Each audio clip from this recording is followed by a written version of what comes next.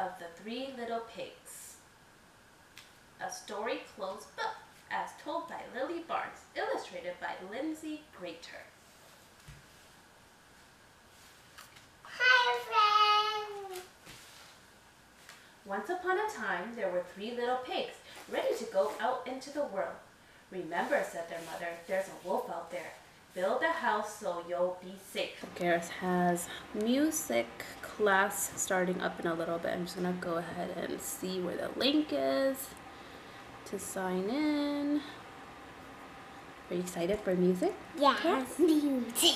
Yeah.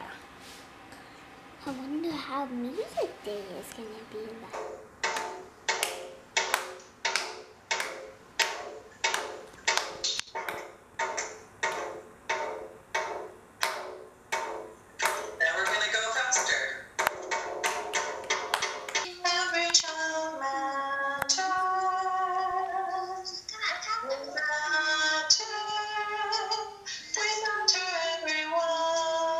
So our next school activity was learning about mindfulness, and we just watched like a YouTube video. So we're gonna practice a little bit of mindfulness today.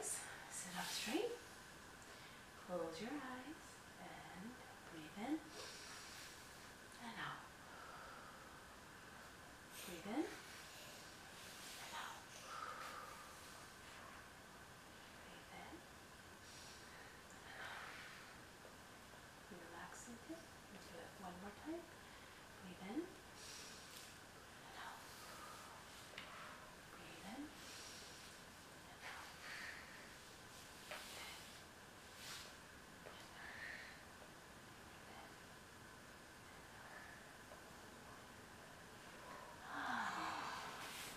Was that relaxing? Did relax your mind? Yeah, but when I close my eyes, then I felt like I was sleeping. yeah, so that's part of relaxation. It's kind of like just Because I'm so tired right now because you woke me up too early. Ooh, well, that's what school is. You're gonna have to start learning how to wake up early because we've been not waking up early. We gotta start changing it because if you go to school in school next year, it's gonna be even earlier. So mommy's starting slowly practicing waking up early with you, okay? So you get used to it. Okay. High five. Boom. Can I? Can you show me your relaxing? Let me see. Can you show me? Close your eyes and breathe in and out. Whoa, that's nice relaxing. now I'm trying to figure out where I put the little Easter eggs, you know, the plastic eggs that use for Easter egg hunt because her music teacher asked us parents to help them make a little shaker for the next music class and we don't really have anything that shakes. I mean, we have like the little from London's like baby toys, but that's connected to like a stuffy, so I don't think that's gonna work. It's right there. Oh my goodness. Oh my goodness. Ah, my finger! Oh my goodness. Probably a, be a smarter choice if I move whatever's in front. But I'm gonna be a rebel and see if I can get this out. Oh! Please don't fall on me. Oh no, I lost my slipper. Oh, yeah.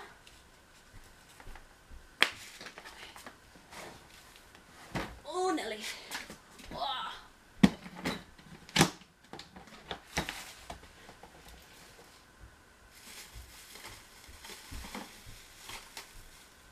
All right.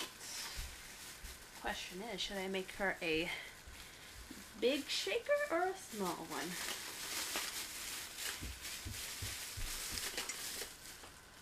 I think it'd be comfortable in her hand if it was this big. We'll see. Or should I make her a small one? Shake, shake, shake.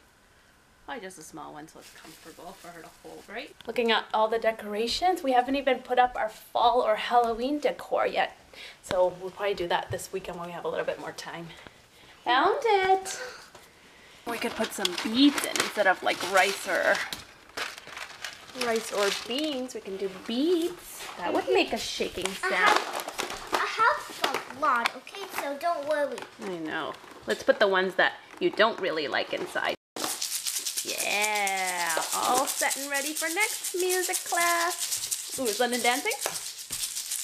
Whoa, whoa, whoa, whoa. Yes, she is. Can London try one time? Yeah? London, you want to try the shaker?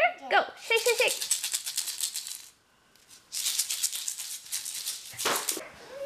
What flavor do you guys want? What flavor? Vanilla, please. Wow. Hmm. Okay. Get out of vanilla, London. This one. That one's strawberry. Where's the vanilla one? Here you go.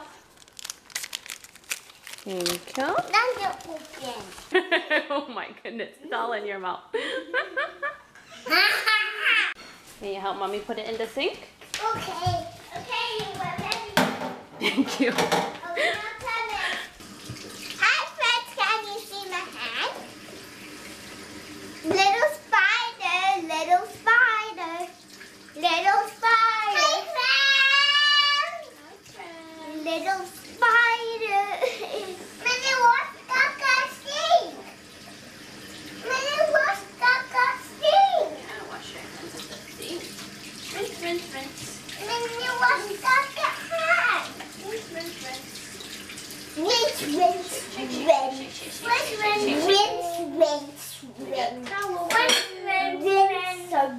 Rinse. Ba, ba, bee, bee, ba, ba, ba. Ba, ba, ba, ba, ba, ba. Rinse. Me. All right, all done. So cute. It has little directions of where to go first. Her teacher said she doesn't encourage erasers for this exercise because it's okay for the kids to make mistakes and learn from it. So remember to do your next one, capital C, okay? C. Good job. So they know what you know mistakes they did and they could correct it. So i thought that was pretty interesting. Like 11.30 right now the girls both went down for a nap when Karis was doing her you know handwriting practice she was like on the second page she was like kind of falling asleep so i knew she was tired and i also could see the bags under her eyes so i'm like okay after you finish this you're just going to go down for a nap and then we'll finish our day afterwards um, but you know, waking up early is one thing. Um, we I have been putting them down for sleep time a little bit earlier. I think I'm gonna have to do it even more earlier, a little bit more earlier tonight as well, and then just keep on going until they kind of get used to the routine. So early bedtime, early wake up time. So yeah, slowly but surely, one day at a time. So at least I get a little mommy break well, not really a break. I'm gonna hand in her assignments and then go edit some vlogs.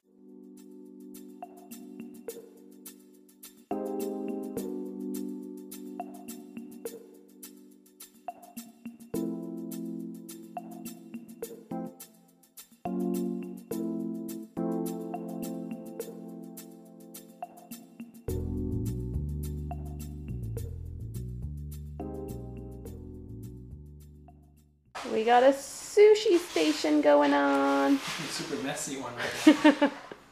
So for tonight, we have two options of sushi. We have ebi mayo sushi and also California roll going on. We like to use this. It's from Mizkan sushi seasoning. When we cook our Japanese rice, just sprinkle it on and then mix it around. The long way, Alan usually puts like kelp and sake in the rice, and then after the rice is done, usually puts like vinegar and sugar. Is that? Mm-hmm, vinegar, sugar, and salt. Yeah, so a lot of more steps. So if you were running out of time, definitely try this out. It's just time saver. California roll. The purple thing is cabbage. We have some vegetables, so you might as well add it for some crunch.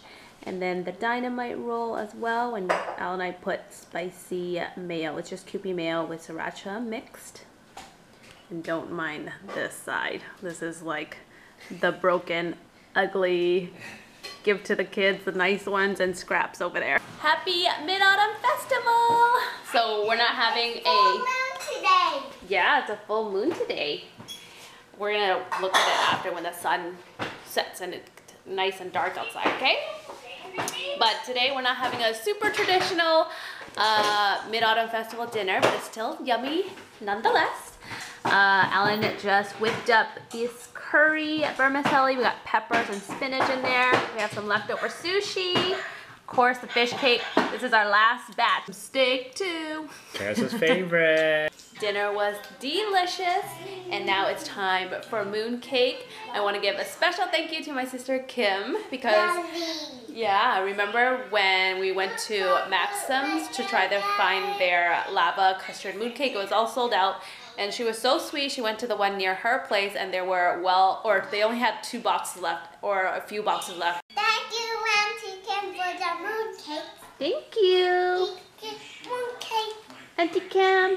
Mooncake. Auntie Kim. How fancy this box is, you guys.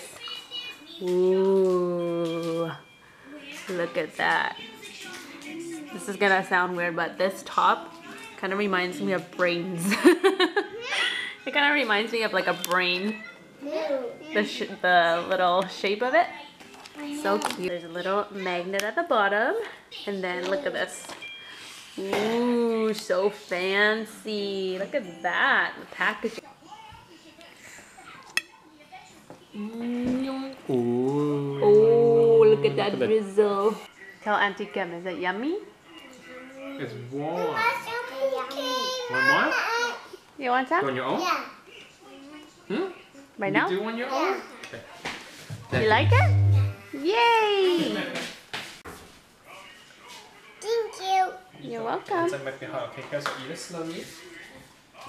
Yum. So Auntie It's Kim, good? how yummy it is and how much you like it. Drink it out. Drink it out. Our first mid-autumn festival that all of us are actually eating mooncake because usually that girl says, Mm-hmm. right? Yeah, like this guy, so it doesn't leak out. See? Let's try.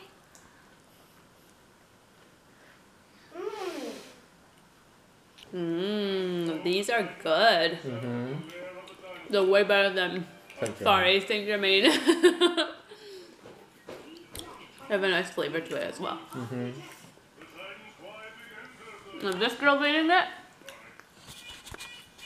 you know it's good. Oh, I can actually capture it on the camera. It's the full moon, you guys.